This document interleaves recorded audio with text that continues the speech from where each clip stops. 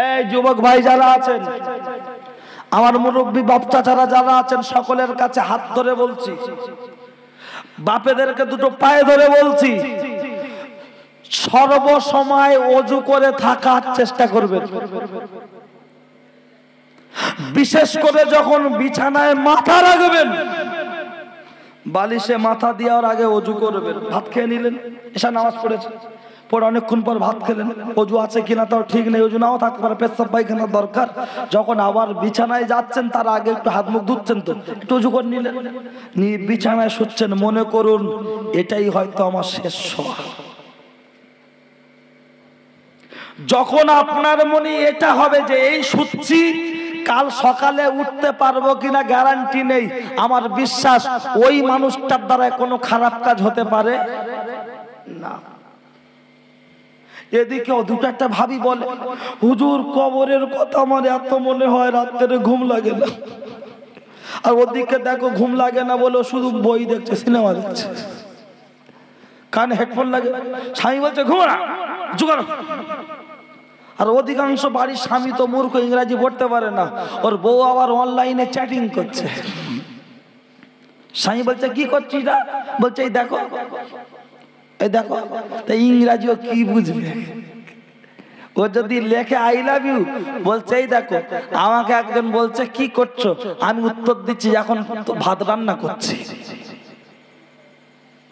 কানার আবার রাত দিন ব্যাঙের আবার সর্দি কাশি স্বামী পড়তে পারে না, স্বামী মানে মিটার।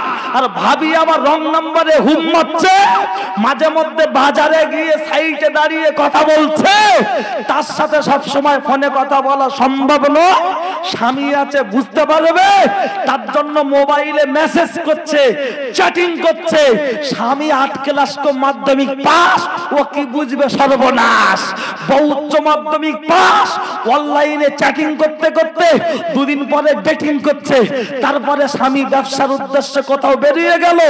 ও ছেলেটা চলে আসলো।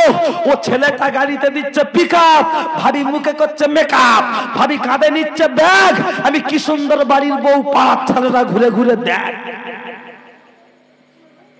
আর সংসারে অশান্তি গেল লাও মোবাইলটা কেড়ে লাও, যুদ্ধ শুরু হয়ে যাবে। যত সংসার ভাঙার মূল কারণ এখন। তবে মোবাইলের দোষ আমি দেবো না। কেন বলেন তো? গ্যাস, আগুন সবার বাড়ি আছে না আগুনে ঘর ধরানো যায়, আগুনে? চুলো ধরানো যায়, উনান ধরানো যায় না? ঘর ধরানো লোকের ঘর পুড়ে যায়। আর আগুন জ্বালালে, চুলো জ্বালালে চা হয়, ভাত হয়, সিমুই হয়, লাচ্চা হয়, আমরা খাই। ভাবি, তোমার হাতে মোবাইলও আছে, তোমার হাতে আগুনও আছে। তুমি মোবাইলটা নিয়ে যাও, অন্য পরপুরুষের সাথে লিপটুকে বার করছ। তা তোমার হাতের আগুনটা নিয়ে তোমার গায়ে তুমি একবার ধরিয়ে দাও না দেখি। বলে, জীবনে মরবো কেন?